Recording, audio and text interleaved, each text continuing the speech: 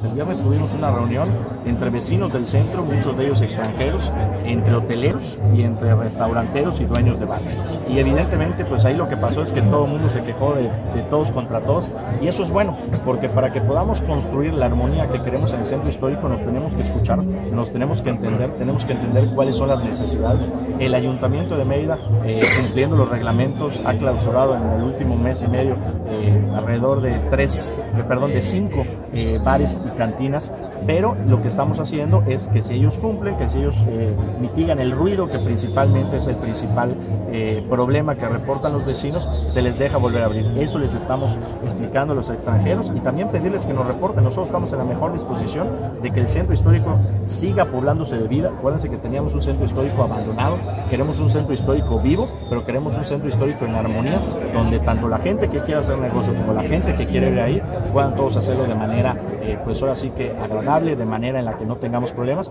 Y para eso tenemos que platicar, para eso tenemos que dialogar. Se llegaron algunos acuerdos que se van a estar revisando. Ahí Carolina Cárdenas es la que les puede dar toda la información. Estuvo Carolina Cárdenas, eh, eh, director de Turismo y Fomento Económico. Estuvo Aref Karen, director de Desarrollo Urbano.